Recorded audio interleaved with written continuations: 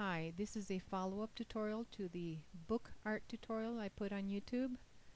I wanted to show a much simpler way to make stripes in Photoshop and I will link to the original tutorial that I found this on.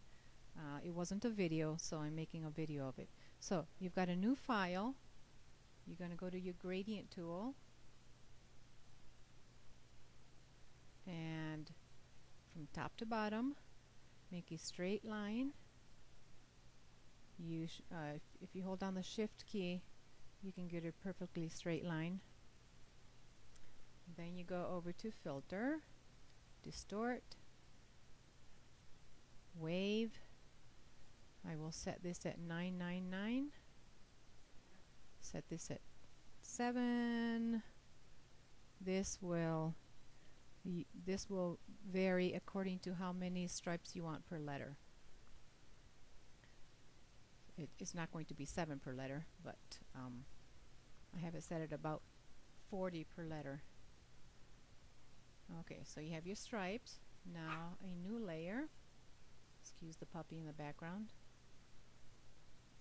For my design, I'm just going to write a word here. Okay, center that.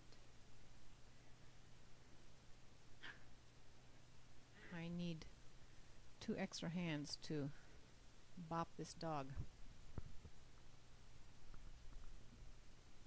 Okay, now I'm going to simplify the design layer.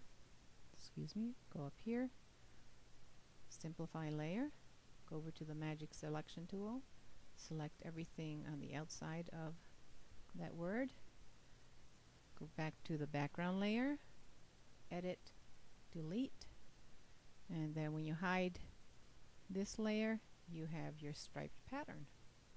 It is as simple as that. You can see close up